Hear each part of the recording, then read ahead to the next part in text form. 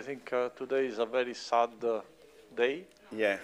Uh, unfortunately, we got a new war in Europe, and uh, but let's hope for the best. So uh, let's start again uh, with uh, Stefano's lecture. Okay. All the best to our friends uh, in Ukraine. Sad day, yes. So first thing I would like to propose you some exercises before starting the lecture. So I mentioned you the, the Creutz algorithm.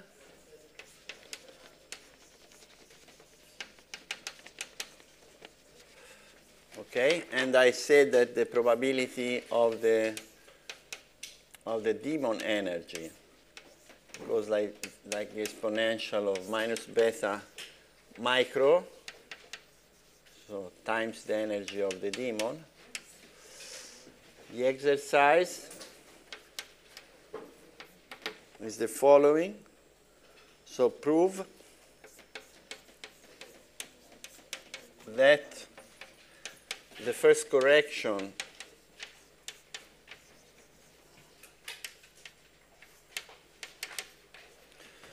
to P of D, P of ED is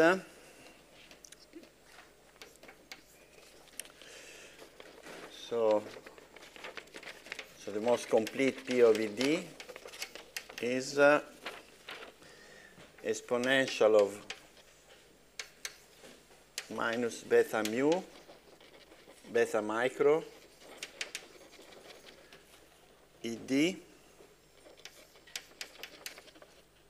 minus ED square, beta micro square divided by twice CV, where CV is the specific is the extensive specificity. So CV goes like uh, n, okay, like the number of particles. Plus, of course, there are other corrections, okay, and. Uh, Okay, so the, uh, so you can see that uh, since uh, uh okay, the energy of the demon is order one, uh, and uh, beta is is intensive. So here there is a one over n. So in the large n limit, this term will be small. Okay, it, that's very important for long range interactions because CV can be negative, can be both positive and negative, and in case it is negative, this will get a plus and so it would be unstable, okay? So, but the fact that uh, there is a 1 over n avoids the, uh, the instability due to the negative specific heat, and the algorithm works also in the negative specific heat region. So this is the first thing. And then much simpler one, uh, I would say, I already mentioned uh, yesterday. So use both exercise, this, this is exercise one. And exercise 2. Uh, use uh, it's for the for the Blume-Capel model. Use the expression expression of entropy, energy, And if, and if you want also bounds, bounds, like the one that I, that I proved, u, the number per spin of, uh, of defects is larger than 0 and less than 1 minus m. Uh, to draw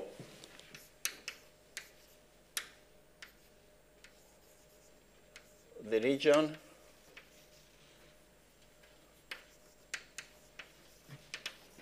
of accessible epsilon and m. So this is the region that you remember yesterday something like this, and then something like this, okay? Okay, you have to do, solve some quadratic equations. Yesterday I was very fast and uh, Okay, and then exercise, exercise three. You remember the estimate of the of the uh, Blume. Oh, no, this is sorry. This is for the Kardar-Nagel. Eh? It can be done also for for the Blume Griffiths, for the Blume Capel. Okay, but so if someone wants, uh, can try also the the, the Blume Capel. It's, it's possible also. So you remember the, the, the volume that I proved for open boundary conditions. In the large N it was something like this. Uh, half. Uh, for open boundary condition, prove it also for uh, periodic boundary conditions. Ah, okay, I proved it only for U odd. Okay, try to extend the proof to U even. Okay, this is first step. And second step, do the proof for periodic boundary conditions. What is the exact uh, uh, counting factor for, uh, okay, so this is the, in terms of exercises.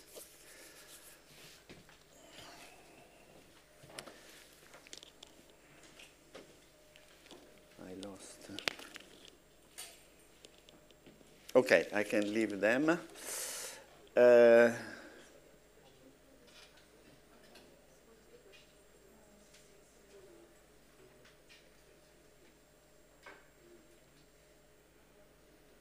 Okay, yesterday uh, finished with this slide the, on the min-max uh, method. I would like to, to motivate, uh, uh, so to, to, give you feeling uh, how to prove, the, prove this. So I will not do much of the proof, but it's okay. So it's just a justification. So so you see that uh, S of epsilon uh, uh, S of epsilon, the microcanonical entropy is the sup over x and the inf over beta of beta epsilon minus phi the Massieu potential as a function of x. Phi is defined uh, uh, here, okay? Phi is beta, phi is the inf over x. And uh, phi of beta x is simply um, beta f of beta x, okay? Uh, phi of beta x is beta f of beta x. So before taking the, the inf. Okay. Uh, so the, the, the, idea is, uh, uh, okay, the, how to prove this. Uh, uh, one way is saddle point. So you know that omega, the volume is uh, the trace of the delta of E minus H in the microcanonical ensemble. Then you represent the delta as a, a Laplace representation. So this will be the trace of uh, beta minus I infinity, beta plus I infinity. So it's a path, vertical path, a vertical path at real beta uh, in d lambda. Trace means trace over the variables of, of h, no? over the dynamical variables of h. Uh, z of lambda uh, n. d lambda is the integration variable. e to the lambda E. So you have to perform this integral. Uh, it's not so.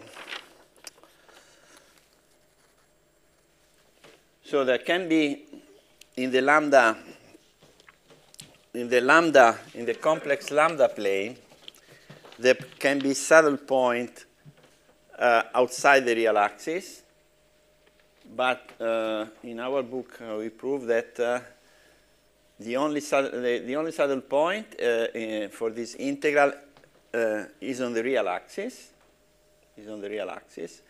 And if there were saddle points on, on the outside the real axis would be creating oscillations in omega, and uh, you, could you could get negative values in omega. The proof is quite lengthy. You can look, I can give you the reference in my book, but uh, you, one can prove that the, the, main saddle point is on the real axis, and uh, on the real axis, uh, it's a maximum in the imaginary direction and the minimum in, uh, in the real direction. So you, you should concentrate on this saddle point for the evaluation of the, of the integral at large n. And uh, since this is a, a maximum, is a saddle with a maximum along the imaginary axis and a minimum along the real axis, you see that here you have to take uh, an infimum over beta, a minimum over the real axis. And then when you perform the integral in x, which if you express uh, the uh, uh, the partition sum uh, uh, in the in the form integral dx e to the minus n phi of beta x, then uh, you will have to perform a saddle point in x, which is a sup in x. Okay. So essentially, the difficult part of the proof is to prove that uh, the main contribution to the integral comes from a saddle point on the real axis, and the saddle point on the real axis is a is a minimum in the uh, in the direction of the of the real part of lambda and is a maximum in the direction of the imaginary part of the imaginary part of lambda. This this this you find uh, this you find in a, I will I will put on the on the web the the uh,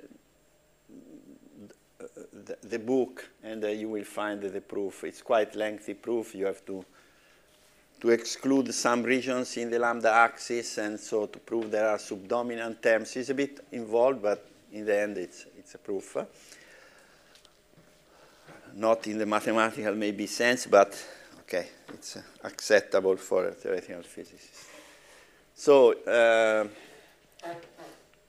so there are two formulas here. One is the formula for the uh, for the um, uh, entropy in the canonical ensemble. This is a formula for the entropy in the microcanonical ensemble where I've inverted the, the sup and the inf. And uh, of course, uh, the entropy, this inequality, inf, sup inf is less than inf sup, tells you that the, uh, that the, the entropy in the canonical ensemble, in the microcanonical ensemble is always smaller than the entropy in the canonical ensemble, no? because you, we have seen examples. I cannot erase the blackboard. I, I lost my. Where is it? Ah. Okay. Did you copy everything here? Okay.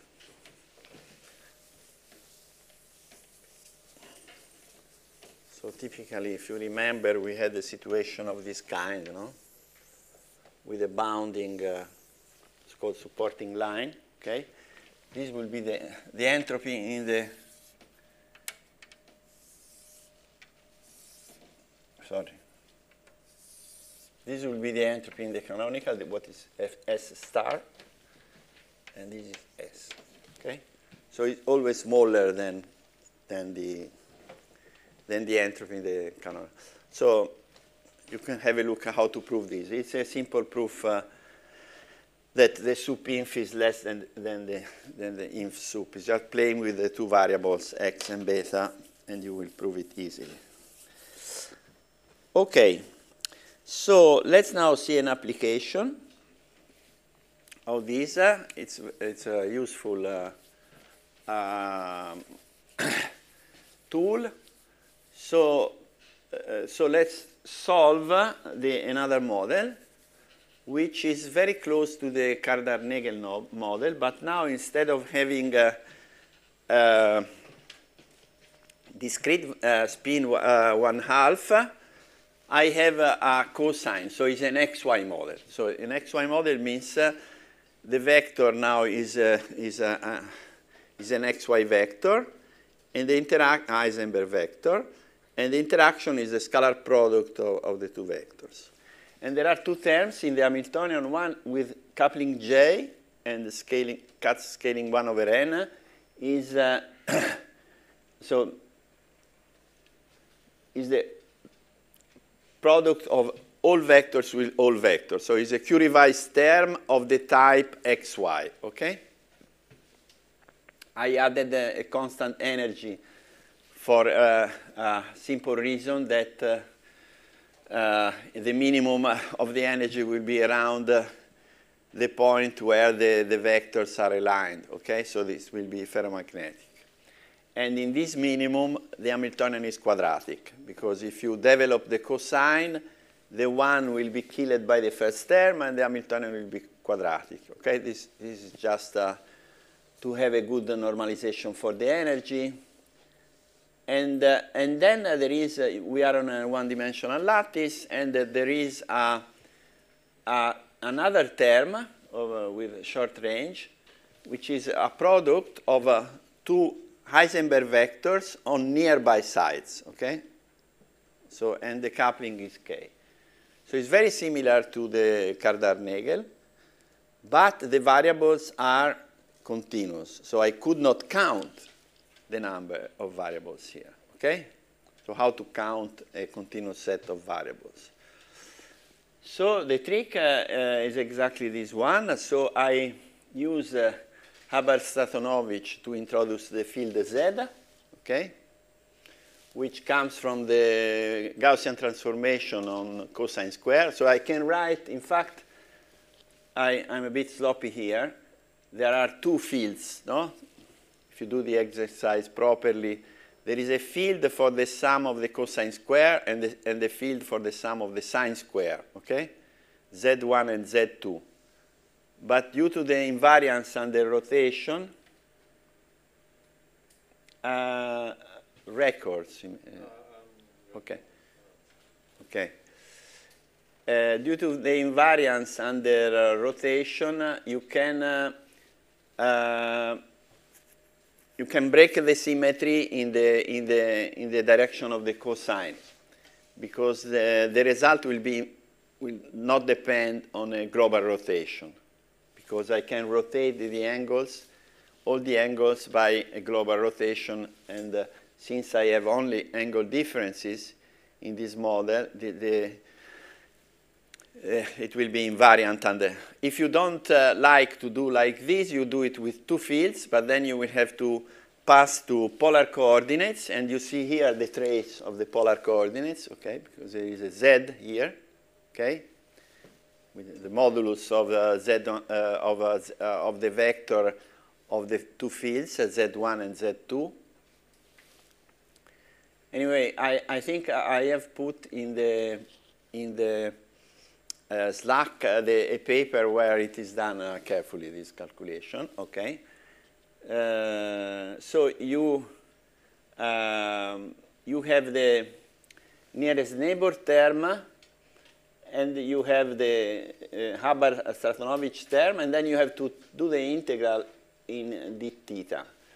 Now, uh, so this is it's not easy because uh, you have to solve an operator, a, an eigenvalue operator equation for, for this model. Uh, it's essentially the same as solving the um, transfer matrix in the ca case of continuous variables, okay? So this is the operator that you have, uh, the operator equation that you have to solve you have to find uh, eigenstate and uh, eigen, eigenfunctions of this operator. Uh, the eigenfunctions are easy, they are plane waves, so you, can, uh, you can indeed solve and get the maximal eigenvalue the, of this uh, operator, which is a function of, uh, of the couplings and all the field, Z. And then uh, in order to get the, the microcanonical entropy, you just use the formula sup of, over Z of inf over beta of this uh, expression here. I think uh, here there is a new, it should be an epsilon, I think. Yes. So there is a mistake here. I will correct. There is a, a, a, a epsilon. Okay. So this can be done numerically, of course. Eh? Okay, the, the, the calculation. Uh, and and we get this phase diagram, which is very similar to the Kardar-Nagel model. So for negative k, we have the continuation of a second order line that ends at the canonical tri tricritical point.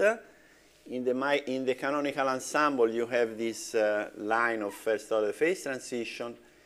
In the microcanonical ensemble, instead, you reach this uh, point which is the microcanonical tricritical point, and then you have the branching of two lines. So you see it repeats exactly the structure of the Kardar-Nagel model. So,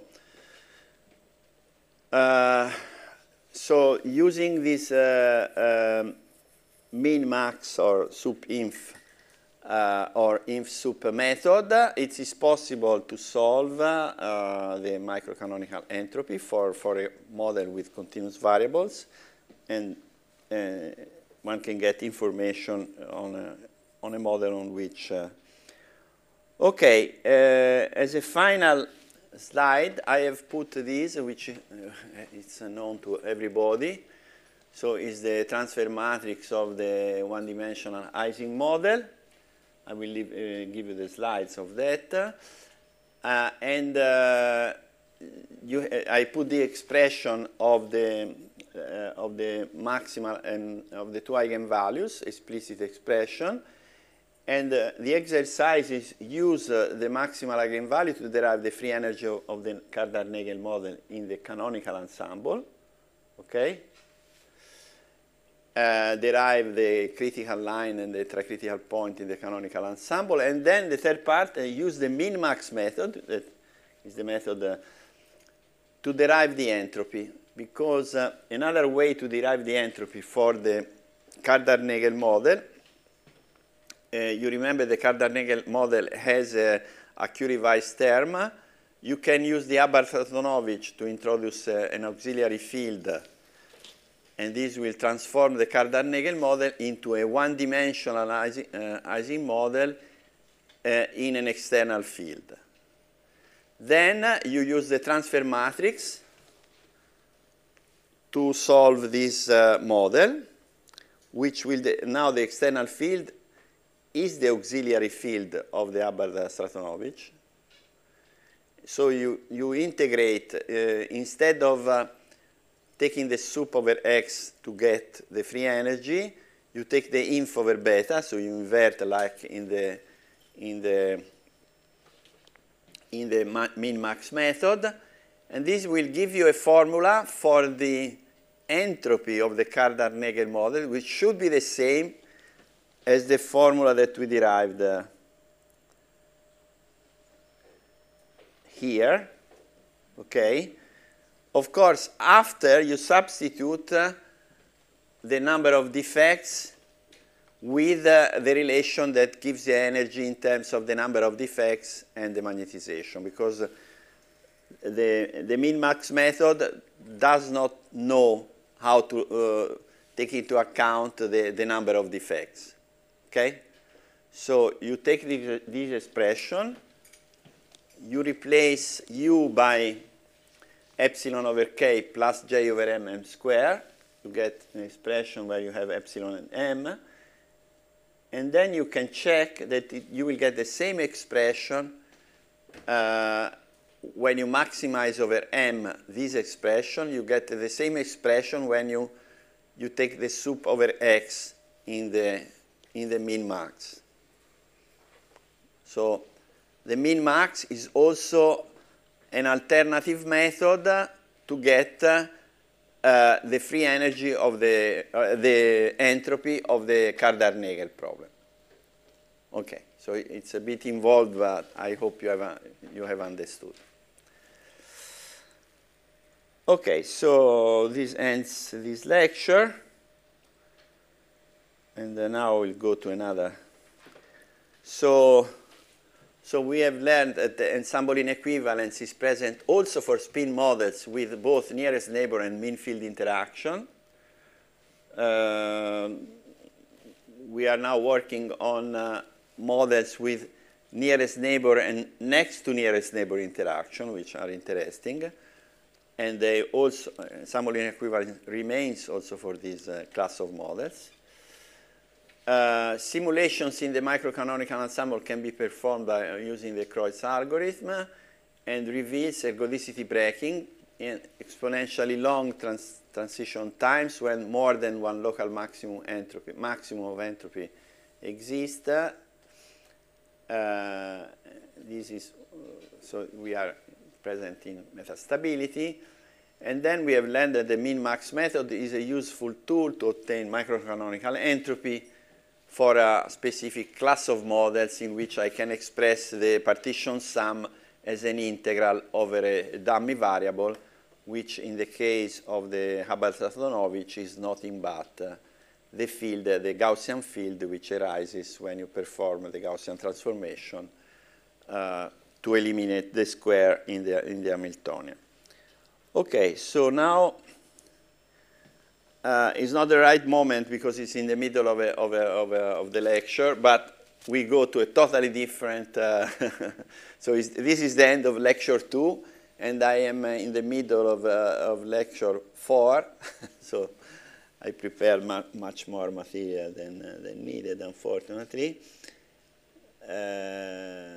So that's usual. So let's go to lecture three.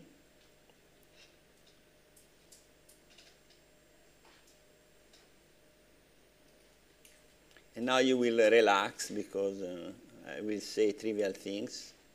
For sure everybody know. But just to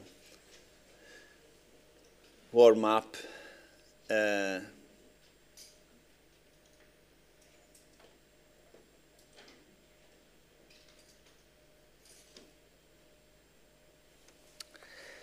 So this lecture is devoted to large deviations, and uh, I will show how you can use large deviations to solve entropies. So entropy will be the uh, uh, analogous of the rate function in the, in the large uh, deviation. Uh, uh, and the free energy will be the uh, the moment, what is called the moment generating uh, function for, for large deviations. So you know that in large deviations, the two are related by Legendre transform, and you will see that I will use this language to uh, compute the, for some models the rate function, which is minus the entropy, and, uh, uh, and then connect it with the, with the moment generating function, which is nothing but the free energy. Okay, so this is the, the, the will be the topic of, uh, of this lecture. And I will show you examples of, uh, of calculation using uh, a theorem by Cramer. There are other important theorems in, in large deviations that could be used, uh, mm, the, the Sanov theorem, the uh, I mean, uh, I, I had other type of models, more complicated. The, the one that I will solve use only the Cramer theorem, so I will state the Cramer theorem, and we will use the Cramer theorem to solve uh, the three-state Potts model, which is one of the simplest example I know of ensemble inequivalence. and then uh, we will use it also to, to solve the modified XY mo model, uh, the model of a free electron laser and the mean field phi-4 model, in which uh, uh, we will discover in the mean field phi-4 model that besides a negative specific heat, you can also have a negative susceptibility. So it's another response function that in the microcanonical context uh, can, be, can be negative. Okay, so let's start by warming up. So you will see this uh, law of large numbers also in the context of large deviation, but it's better to recall. So consider as a sample of any independent, uh, identically distributed uh, uh, random variables, uh, x1, xn, and uh, uh, each of the variable has a PDF f of x with expectation given by the integral of x, and then you take a sample. Okay, you take a sample and you will see that this is the usual object in, in a large deviation theory. So you, you take an average over a number, a finite number of, uh, of, uh, of, uh, of extraction of the, of the random number. So for, for instance, 10, okay? You, you extract 10 number randomness and uh, you take an average over the 10 number, random numbers that you have extracted with this rule. Then, uh, you know, this is the law of large number, that the probability that uh, this uh, sample mean, this is the name used in, uh, usually, the, the probability that the sample mean converges to mu in the large n limit, in this case, is uh, 1. Of course, this, uh, this is called, the law uh, of large numbers, but it's not a law, it's a theorem. You know very well there are several ways to prove it. One way is to, there are several versions of the law of random numbers. I don't want to cite over all of them because otherwise I would do a course in probability. But okay, the weak law, the strong law, and so on. For those who are interested, they can look at. Uh, but, uh, okay, what is important is that uh, um, there is sort of concentration of probability onto the, onto the average as you increase the size, as you increase the size of the, of the sample. Uh, then there is a, so, so, so the, the sample mean is a, is a good uh, uh, uh, evaluation of the, of the average. Sample mean is, is and better and better as you increase, uh, as you increase the size uh, of the system. Uh, then, uh, then this is part of the warm up in this lecture. Okay, then uh, let us uh, uh, mm, state the, the central limit theorem. so consider a function of the, of the set of random variables that, and perform a sample mean of this function, okay? Uh, and then uh, define the difference of the sample mean to the average div div divided by the square root of the variance of the sample mean. The variance of a sum, as you know, is, uh, is uh, n times the variance of, of, the, of the of the function. So you can rewrite the, uh, this expression with the square root 10 in the numerator here. If, if we define the sigma square, the variance of G, then uh, the central limit theorem can be stated in these two forms, for instance. In one form, you say that the probability that uh, this uh, uh, ratio here is between A and B in the large n limit is the Gaussian integral with limits a and b. In another form, you say that the probability of, of g of n is Gaussian with variance, uh, with variance sigma square over n. So what happens is that uh, irrespective of what is g of x, the, uh, the, uh, the Gaussian, the, the, the, distribution will be a Gaussian around, uh, around the average. Okay? The distribution will be a Gaussian around the average, and the width of the, of the, of the Gaussian reduces to zero, which is another way of seeing the law of large numbers. So the, the, uh, the fact that uh, as you increase the sample size, uh, the, the, the, the probability concentrates on the average. Okay, so let's uh, try now a calculation with uh, and uh, where we can compute explicitly the probability and check if uh, the, uh, we can see the traces of these uh, two theorems, the, the, law of large numbers and the, the, and we also we discovered that uh, the we also discovered that the probability distribution of the sample mean so although the probability distribution of the sample mean, no, you see in this form, is Gaussian near the, the center, if you go away from the center, it's not at all Gaussian. So if you read a presentation by of the large deviation theory by uh, you uh, the, the, the, there is a chapter, an interesting chapter that says uh, wh what is uh, the probability of a, a, a, very unlikely event. No?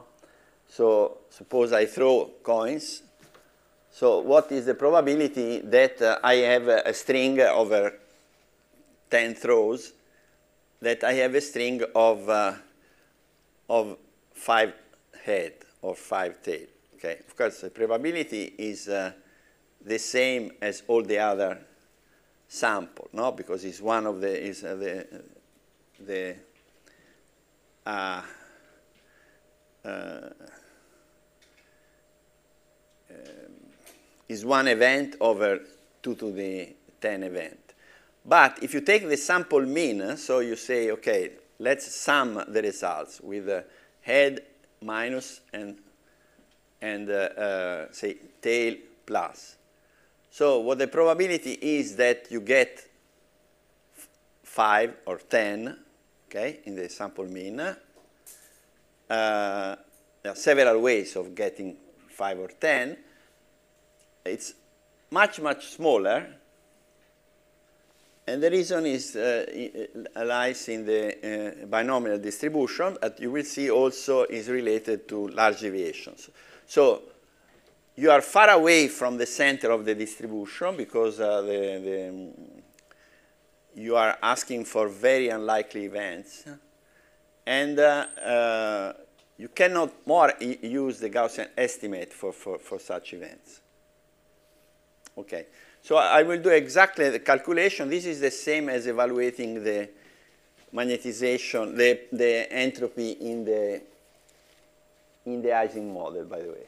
So, so let's take head, on, head and tails. So I throw xk, and the result are either plus or minus. Okay. Uh, is it okay? You're not sleeping. No, it's okay. Okay. Yesterday, maybe you had. Uh, uh, uh, I had a good uh, dinner with wine, so, but I hope also you enjoyed the evening. So it's everything. This is clear to everybody. So I think uh, okay, it's uh, okay. So this is the only calculation of today, which is uh, slightly more demanding. So uh, I define the sample mean uh, over the random variable uh, xk. And I want to know what is the probability that the sample mean is, is x. Okay? So I can get this probability very simply by counting uh, in the series, uh, fixing the sum, and the sum is x. Okay, I can get a certain I can get a certain number of, of heads, a certain number of tails, and I can permute all the uh, head and tails because uh, I get the same sum, but I have to divide by n plus factorial and n minus factorial because they are the same uh, configuration. then I have to divide by 2 to the n in order for this number to be, to be a probability, okay? It should be less than uh, 1, okay? It should be positive and less than 1. Now I rewrite uh, n plus and the n minus using the sum, which is x, okay? And I use the Stirling approximation. And I get this. Okay, that's a very, very simple exercise, but it's uh, very illustrative of the fact that you have a large deviation principle. So the log of the probability, apart, uh, neglecting, uh, uh neglecting uh, subdominant term in the Stirling approximation, the log of the probability uh, can be approximated, okay, neglecting uh, prefactors, as uh, minus n, the number of throws, times this function of x, which you recognize very well is nothing but uh, the uh, uh, entropy of the, of the, of the Curie-Weiss model in terms of the magnetization, okay, minus the entropy, in fact, okay? And this is so-called the rate function in, uh, in uh, large deviations. And uh, the rate function I of x as a minimum is x equals 0, and this is the central limit theorem. The fact that the most probable value, which is the average, the average of uh, n throws, and each throw is either plus or minus, is 0. Okay? This function has a minimum in x equals 0, which is the most probable value. And uh, you can check that it is quadratic around uh, x equals 0. Uh, and this is the central limit theorem. But there is much more information in this function. You get a probability also far away from the average. So you can get the probability of states of, uh, of the system, I would say magnetizations, no? That are very far from the zero magnetization. That's why this theory is, is very useful for phase transition, because it tells all the story about uh, the uh, probability of a function of the order parameter. No? Uh, so you, it's a, a, way of getting the probability of the order parameter, and it is used in many different areas of, uh, of statistical mechanics. Uh, okay, so the coin toss experiments can be thought as a microscopic realization of a chain of n non-interacting spins, and I of x, which correspond to the opposite of the Boltzmann entropy, is a, a, a, a macro state that characterizes the uh, fraction of x uh, up spins in the configuration, which is the, the, the related to the, to the magnetization. Okay, so the rate function and the large deviation function are the same. They're uh, different names that arise if you if you formulate the large deviation principle. So if I formulate the large the deviation principle by saying that P, the probability is, is of, of, the exponential type, the function inside the exponential is the, the rate function or, or the large deviation function. Okay, so this is an extremely simple example, but you can amuse yourself to make it slightly more complicated. Oh, I don't have it here, another? Ah, yes, okay. Ah, I did it with uh, using Cramer. Okay, you can do it also, so you can bias the coin, okay? You can bias the coin and try to, uh, to get the binomial when the coin is biased. Try to do it before doing Cramer. So I, I will now do Cramer. Cramer uh, formulation is the following. So let's take a random variable, a vector random variable, because I, I, I will need vector random variables uh, for, to solve uh, some of the models uh, with a given PDF, okay? So, and then uh, take a sample of this vector random variables, x, uh, in such a way that the sum of these uh, vector random variables is the sample mean, okay? Then, uh, question, which is solved by Cramer, which is the PDF, the random, the, the IID, IID random variables, okay? Which is the PDF of the sample mean, and you have to do it in steps. First of all, you have to compute the generating function, and the generating function is the average over the, the PDF of the variable x of the exponential of uh, the scalar product of uh, lambda and x. Okay, you have to do this average. Okay, then uh, once you have performed the average, uh, if psi of lambda is less than sorry is finite and differentiable, then these are the hypotheses of the theorem. Then the probability that the sample mean is x, is exponential of minus n i of x, so it obeys a large deviation principle.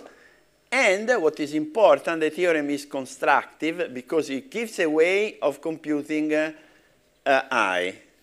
i is the Legendre-Fenchel transform of log of psi. Okay? So now you understand why I have introduced the Legendre-Fenchel transforms and everything because uh, this is uh, a very important result. And, uh, okay. So let us uh, use it for an exercise. So suppose I bias the coin. So the probability distribution d mu of the biased coin is, uh, uh, in the case of balanced, is the sum of two deltas. But in the biased case, is 1 minus alpha times the delta plus alpha times the delta of x plus 1, sorry, there is a, parenthesis. Uh, so you can uh, do it with, uh, with uh, Cramer. So you compute the, uh, the moment generating function, the psi, and then you do the, I leave it uh, you an, as an exercise, okay? And then you, you do the Legendre-Fenchel transform of that, is quite involved. Eh? You should work a, li a little bit. You see expo lambda minus 2 alpha sinh of, of, uh, of, and then you have to invert because you have to do Legendre-Fenchel. And you, you have this uh, moment generating function, this, sorry, this um, uh, large deviation function, which in the, in the unbiased case is centered in zero. In the biased case, is not centered in zero because the average is uh, moved away from zero, and also the shape of the, of the large deviation function is no more symmetric around, uh, around x equals zero. Okay. But you see that that is a tool that is, can be adapted to solve uh, slightly more complicated problems in, uh, in, uh, in probability. Now, so uh, this uh, now is a, a slide where uh, I, I, I try to adapt a method that was used before uh, we used this, for spin system was used uh, in, uh, in, in two different areas of research and I learned this method from a postdoc of mine from Freddy Bouchet who came from to Florence for three years long ago. And he was coming from, uh, from a group of uh, geophysics. So it's very important to, to know this. It's, it's very important that people bring new methods from very different areas of research. And, uh, and uh, the method was used uh, to, to study the statistical mechanics of the Euler equation. So completely different area of research. But then we read carefully the papers and we understood that it was possible to adapt it to, to spin systems. So, and I will present to you the method, which is uh, um, very powerful and allows to solve the entropy of a really uh, wide class of, uh, of, uh, of models. So I want to destroy Kerson Huang and show that we can compute microcanonical entropies as much as we can, okay? Uh, so, so first of all, what you have to do, you have to, so the Hamiltonian is a function of the dynamical variables. You have to reduce the set of dynamical variables to a finite set. And this uh, turns out to be particularly simple is the dynamical variables can be expressed in terms of mean fields, no? Okay, if, if the, for instance, in the, all the Hamiltonians that you have seen, uh, you can express the energy through the order parameter m, q, so only a finite set of variables, okay? Then you have to prove that the rest, if you express the Hamiltonians in terms of these, uh, uh what I call global variables, okay, uh, gamma, so the Hamiltonian Hn is a function of the dynamical variables omega n, but I would like to write the Hamiltonian as a function of the global variables gamma, which are functions of the dynamical variables omega n. And I would like that the rest is small when n goes to infinity. When n is large, the rest, uh, rest is small. So once I can do this, then I can say the Hamiltonian is well represented by a set of uh, global variables gamma.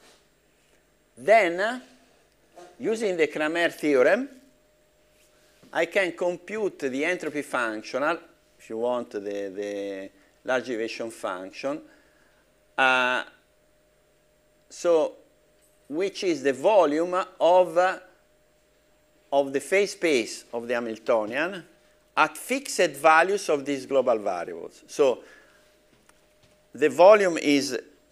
So suppose I have, uh, you have seen it in the examples, no? I have uh, fixed the number, take the Kardashev model. I have fixed the number of, of defects, uh, which gives me u, the global variable u, and then I fixed the magnetization, which gives you the global variable m.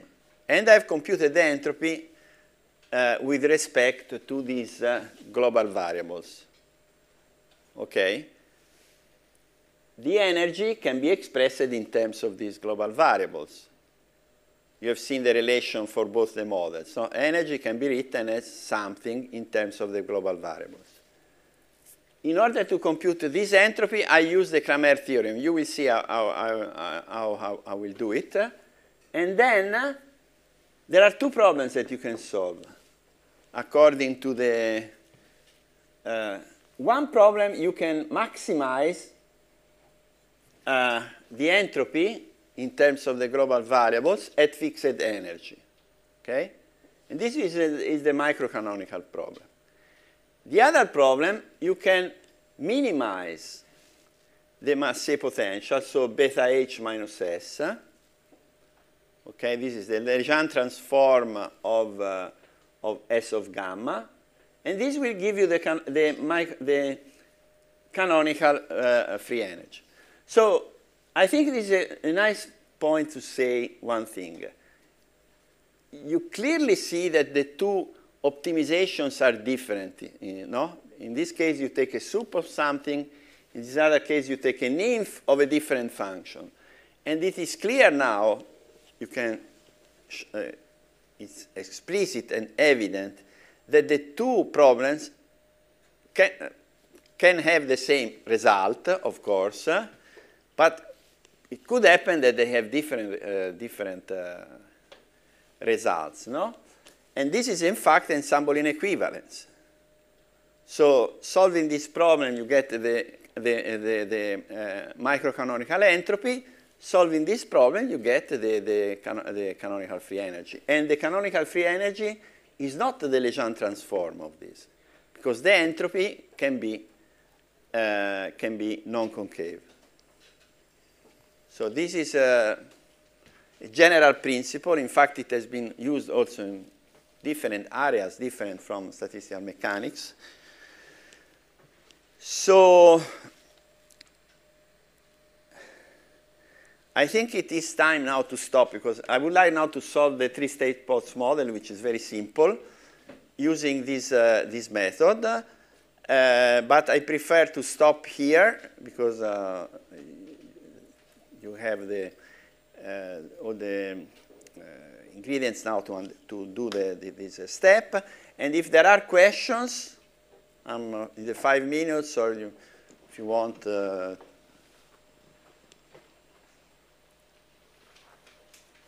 If there are no questions, you rest five minutes, and we start again in five minutes. Okay? Okay, so we take a break of five minutes.